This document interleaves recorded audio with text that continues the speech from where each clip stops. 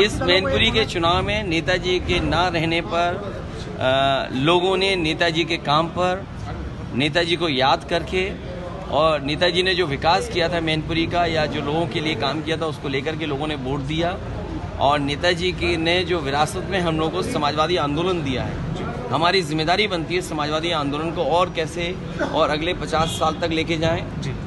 मैनपुरी के परिणाम ने नकारात्मक राजनीति को ठुकराया है।